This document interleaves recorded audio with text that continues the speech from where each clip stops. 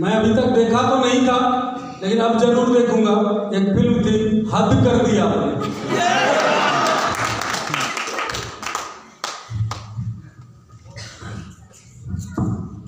साथियों, आप सभी को मेरा आदाब।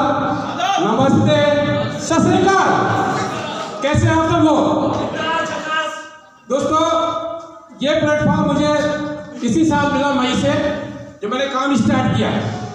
और इसके प्रोडक्ट जो थे, वो बहुत ही गजब थे। इससे पहले जिस कंपनी में था, वो प्रोडक्ट अच्छे काम नहीं कर रहे थे। तो मुझे कहीं ना कहीं से लग रहा था कि ये जायज़ नहीं है।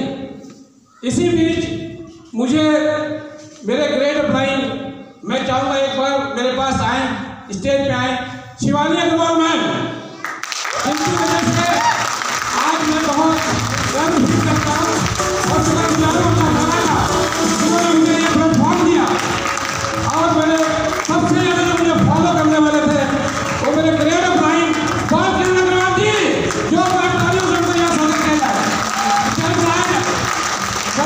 का